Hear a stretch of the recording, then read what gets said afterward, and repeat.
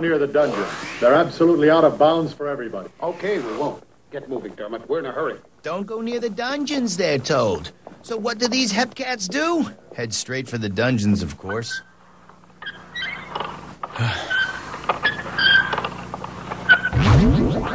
Hmm.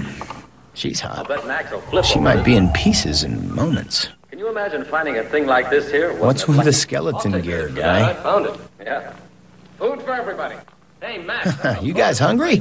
All right, we'll see about the bonuses. Now eat It'll quickly, be huh? perfect for the Skeletrix series. Hey, that looks Fine, great. boys, fine. Now let's get to work. I'll Yeah, got it from the local fast I'll take food care joint. of that myself. Yeah, what do you mean by that? Oh, the innuendo. What a picture this'll make.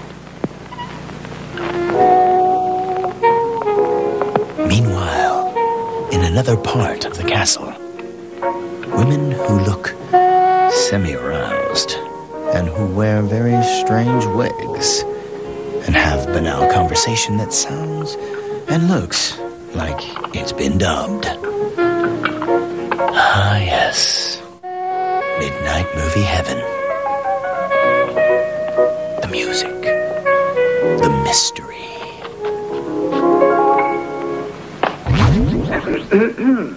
Oh, Max, why don't you ever knock? Because he's a jerk? Oh, come on. Now, what's all this nonsense? I'm just like a father to you girls.